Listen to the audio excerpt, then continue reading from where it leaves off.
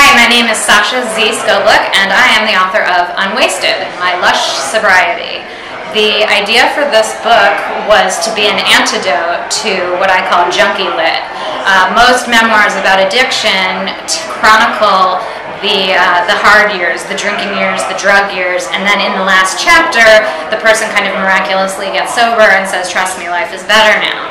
And I wanted to flip that on its head. So my first chapter is when I get sober, and then my life sober is the story. I chronicle that part. I chronicle how it's weird to go to parties, how I don't have my social lubricant, and I'm expected to uh, be in all these social situations that are new, and you know, I have fantasy relapses that border on the absurd, like you know, someone holding a gun to my head and forcing me to drink, um, because that's the nature of this thing. And what I've found is that being sober is its own weird, wacky way of life and worth writing about. When I went to college, like everyone, I drank a lot, and it was hard to discern that I was a problem drinker because everyone around me was drinking. But the truth is, I probably left college addicted. And when uh, my life started and my career started and friends started going to bed at a reasonable hour because they had to wake up for work, I didn't stop the party. I kept going and I found people who were willing to uh, party with me. And basically, I drank every night after work. I was a very high functioning alcoholic um, until I wasn't. And that is kind of the inevitable story of addiction, which is that it's fun for a while, but it never, ever ends well.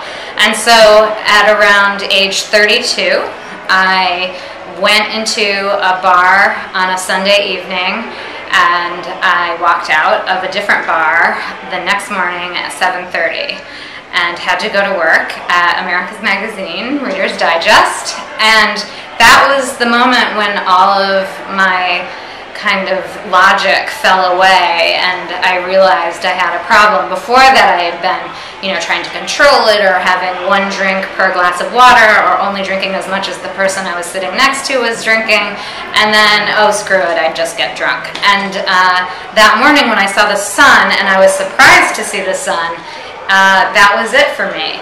Now I've had darker moments in drinking. Uh, if you read the book, you'll you'll read about some of them. But for some reason, it was that morning and the sun where I just said I can't live like this anymore, and my life is literally unmanageable. I couldn't be a vampire and the successful journalist I had hoped to be, uh, and so that kind of led me uh, to dabbling in a 12-step program and then eventually uh, committing much more fully to it. Well, for sure I was known as a, a, kind of good time Sally around the office. I was definitely the fun girl, the one you could count on to go have a drink with.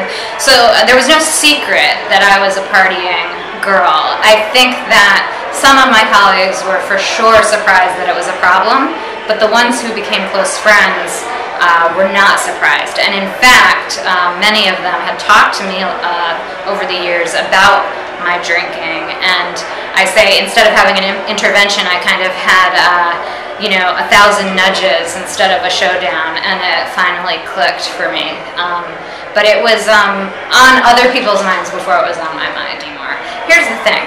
If I were to have a drink right now, obviously I would not be drunk the moment I had a sip but my brain would light up and it would be impossible for me to stop drinking.